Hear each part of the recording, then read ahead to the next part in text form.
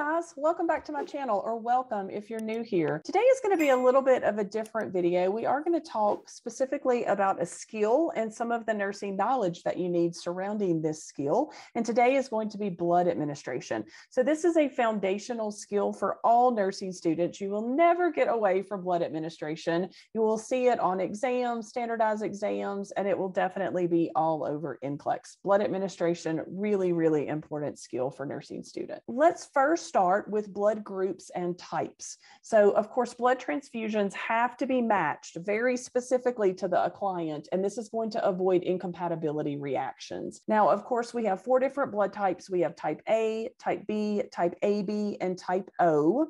And each of these is going to have an antigen or, or no antigen, as we see in type O, and an antibody or no antibody as we see in type AB. So let's walk through these. In type A, you will have an A antigen and an anti B antibody. In type B, you will have B antigens and an anti A antibody. So type A and type B are opposites. In type AB, you will have A and B antigens. Therefore, there are no antibodies. And in type O, there are no antigens. However, type O clients will have anti A and anti B antibodies. Down. What does that mean? That means that your O negative blood type is going to be your universal blood donor. So they can give blood to anyone because they have no antigens in their blood.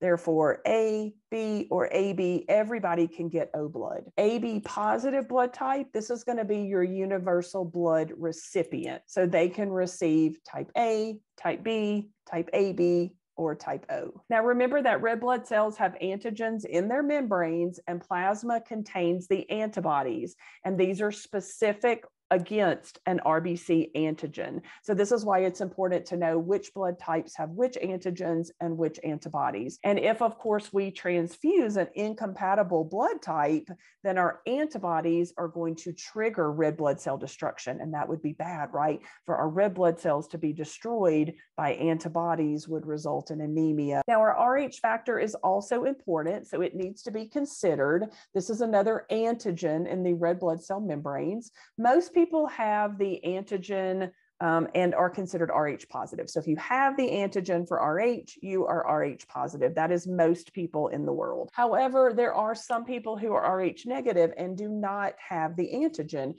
Therefore, someone who is Rh negative can only receive Rh negative blood components. So you could be A positive, you could be A negative, B positive, B negative, AB positive, AB negative, or O positive, O negative. So again, most people are positive. However, if you are negative of any blood type, then you can only receive a negative blood type component. Okay, so here is just a quick snapshot of who can receive what blood. Now, this slide does not take Rh factor into account. However, our AB clients can receive a donor O, A, B, or AB. Remember, they are the universal recipient. Our B clients can receive O blood and B blood. Our A clients can receive O blood and A blood, and our O clients can receive O blood. So they are the universal donor. Okay, what is an autologous transfusion? This is an important concept. It sometimes comes up in test questions. The collection and reinfusion of a client's own blood is called an autologous transfusion. So this is where clients, and this usually happens before surgery. So the client's going into a planned surgical procedure and they decide to donate their own blood. So anywhere from four to six weeks before the surgery, they'll donate their own blood. They can donate multiple units. And then after the procedure, they can receive their own blood back. So it's safer, it decreases the risk of mismatched blood or incompatibilities, it decreases exposure to bloodborne pathogens, so it is much safer for clients. Now, we also see autologous transfusion sometimes done at the time of surgery or through blood salvage. So maybe the client is losing a lot of blood through a surgical procedure, and we are saving that blood so that we can retransfuse it to the client. Okay, let's talk about blood administration. So, the procedure first thing to remember do not go get your blood from the blood bank until you're ready to administer it. So, from the time it leaves the blood bank until you administer it can be no longer than 30 minutes. You need to know that no longer than 30 minutes. So what supplies do we need? We need a Y set tubing with an inline filter. I'm going to show you a picture of that in just a minute. We need a 500 milliliter bag of 0.9% sodium chloride. So just normal saline IV fluid. That is the only fluid that is compatible with blood administration. So only normal saline. This is a non-sterile procedure, so aseptic technique and we need our blood product that we're planning to administer. And remember, blood products can be of varying types, right? We can give whole blood, we can give packed red blood cells, we can give fresh frozen plasma, platelet. So, whatever product we're going to administer, we need that on hand as well. You need a healthcare provider order to administer a blood or blood product. Client safety is by and large the highest priority. The first thing is is do a client assessment. This is going to include vital signs, a lung assessment. Now, when we start to talk about about transfusion reactions, you're going to see that many of our transfusion reactions do affect the client's ability to breathe, so their respiratory effort. So understanding what that baseline lung assessment is is important. We want to know about any pre-existing conditions that might increase the risk for things like fluid volume overload. So does your client have heart failure, any kind of renal disease? Both of those would increase the risk for fluid volume overload. We want to do some client education. So explain the procedure, any side effects that need to be reported, and then verification. Verifications um, should be done by two RNs, or in some states and in some facilities, it can be done by one RN and one LPN. But please do know that that can vary by state and by agency policy. But definitely can be done by two registered nurses. And what we're going to verify is that we have the correct blood component based on our order, that the component that was delivered from the blood bank is actually compatible with the client's blood type. We want to make sure that we have the correct client, that the blood bank ID number on the unit of blood does match the transfusion record and the armband that the client is wearing, that the expiration date has not passed on our component. We want to make sure that there aren't any bubbles, cloudiness, sediments, or clots. If you see any of that in the bag of blood component, then we do not want to administer that. We just want to bag it up and send it back to the blood bank. So when you're looking at a blood bank label on a component of blood, there are a couple of things that you're looking for. The first is here is your blood identification number. So this is what should match your transfusion record from your lab as well as the armband that your client is wearing from the blood bank. Or here is the blood type of the blood component that is being administered. Now your client should have previously had a type and screen, assuming this isn't an emergent procedure, and you want to make sure that your client's blood type is compatible with the component type. You can also see what component this is. In this case, it is packed red blood cells, and here is your expiration date. So, four really important things to look at on the label. Even if you have what seems to be a minor discrepancy, the patient's name is misspelled, there's one number off in your blood administration number, your blood identification number, don't administer the product. Even seemingly minor discrepancies, do not administer the blood product. Go ahead and notify your blood bank and send that component back. Okay, also pre procedure, we want to verify the appropriate size of our IV catheter. So, for adults, that should be an 18 to 20 gauge. In children, we can do a 22 or a 24. And of course, we can always administer blood in adults and children through a central line access. You also want to make sure that not only is your IV the appropriate gauge, but that it also is patent. So go ahead and flush it. Make sure that you don't have any signs of phlebitis or infiltration and that your IV is good and working. Blood administration does require an informed consent. And then we do want to get um, all of our blood administration supplies together. That includes our tubing with our inline filter. Now, this is what our tubing is going to look like. It's all often called a Y set. So you're going to have um, two spiking sides. There's your Y.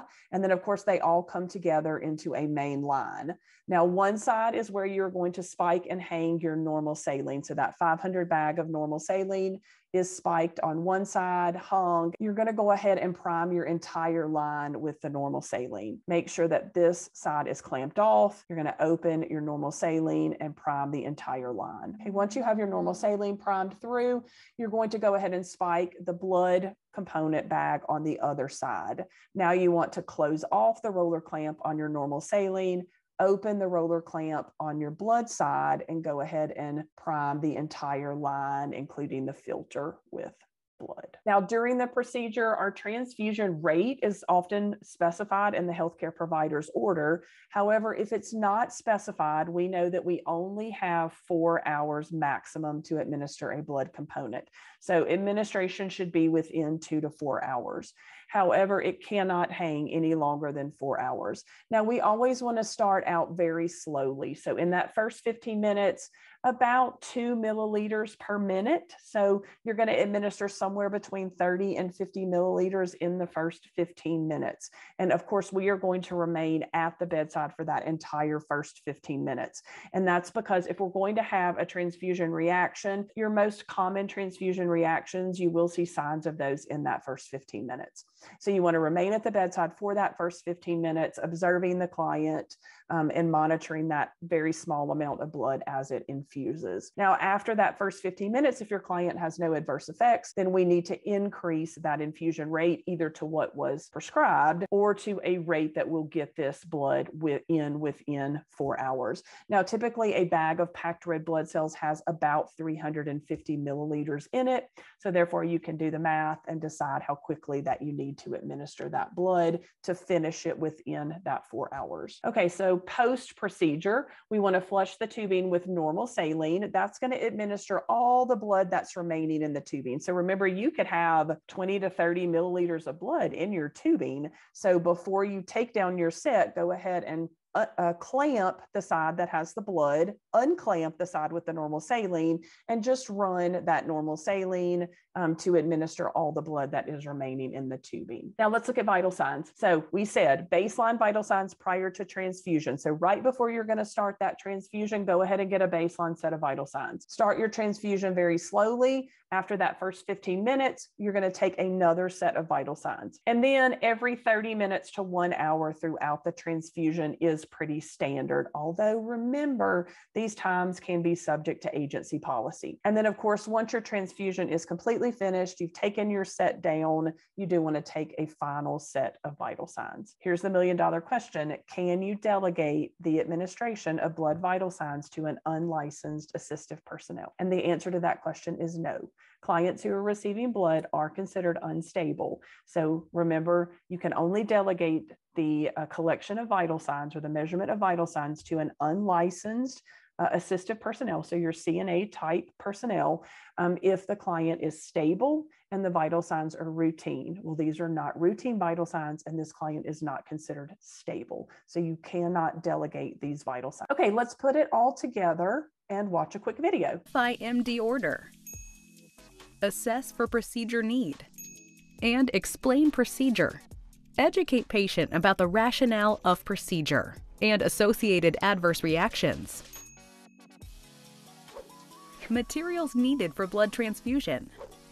Biohazard bag, alcohol pads, blood tubing, Y tubing, blood product, 500 cc bag of NS, 10 milliliter normal saline flush. Assemble supplies before entering patient's room. Complete pre-transfusion steps prior to blood transfusion infusion.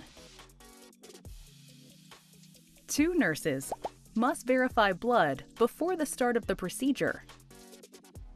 Verify blood band with blood unit. Verify blood unit with request form with another nurse. The procedure. Assure patency of IV line. Hang normal saline flush bag. Spike normal saline bag and prime tubing. Filling blood tubing filter completely. Caution! Close normal saline roller clamp before continuing to the next step. Spike blood bag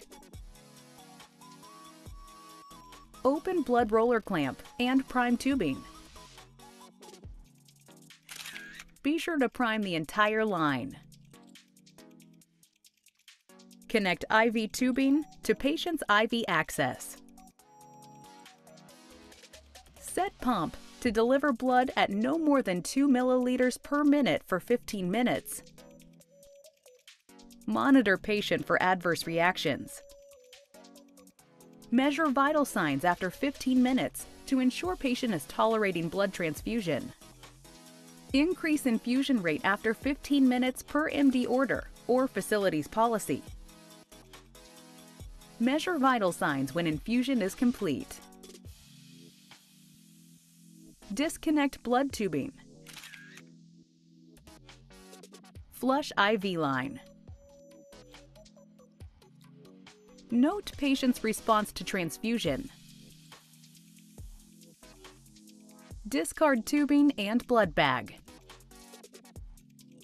Dispose of soiled supplies. Okay, moving on to blood transfusion reactions. There are about nine types of blood transfusion reactions, but don't don't be worried. I do have a study guide for you. It is free. So if you would like to learn all about these blood transfusion reactions, you can request via email. So just shoot me an email and I'll be happy to send you a free study guide that will talk about etiology for each type, the onset, any clinical manifestations, any prevention strategies, and then our nursing interventions that we will um, do to treat these blood transfusion reactions. Now, the febrile and the acute hemolytic reaction, they are the most common. However, we also have two types of allergic, so a mild, moderate allergic reaction, and then a severe anaphylactic reaction. We also have transfusion related acute lung injury. This is the most deadly type of blood transfusion reaction.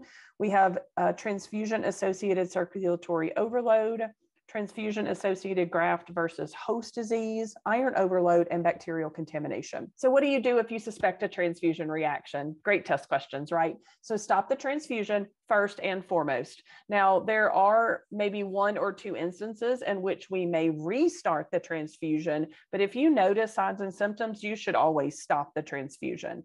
Now, you're going to keep your IV line open by replacing your IV tubing all the way down to that catheter hub with new tubing that is already primed with normal saline. And you're just going to run that at a rate uh, fast enough to keep the line open. So at a KVO or keep vein open rate. Now it is good to go ahead and have that extra bag of saline and that extra bag of tubing just ready to go at the bedside in case of a transfusion reaction. You don't have to spike it and prime it, but go ahead and have it available in your room. Do not turn off the blood and simply just turn on the normal saline that's already hanging.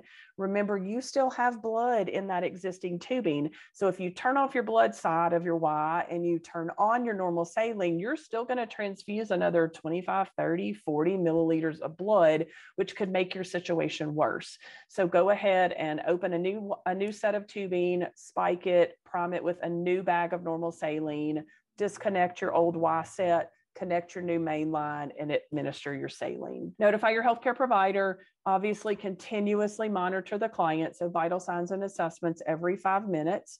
You might need to prepare to administer emergency medications, ventilation, bag and mask, oxygen, based on the type of reaction. You always want to save the blood container, your tubing, any attached labels, and your transfusion record. So don't throw any of that out. If you stop this transfusion, take it down and you're not going to restart it, all of that, the blood component, anything that's remaining, the tubing it was attached to, all of that gets returned to the blood bank. And then you do want to obtain blood and urine specimens as ordered, or a lot of times you have an agency policy that says if you stop your blood for a reaction, go ahead and get a urine and a blood specimen. Okay, guys, that's all I have for you today on blood administration. Hopefully, you found talking through the process beneficial and then even watching the process more beneficial. Now, again, if you have any questions, don't hesitate to reach to put them below or to reach out to me via email or I am on Twitter and Instagram. And you can also send me an email and request that blood transfusion study guide. If you have any questions, please reach out. Otherwise, I will see you in the next video. Have a wonderful day.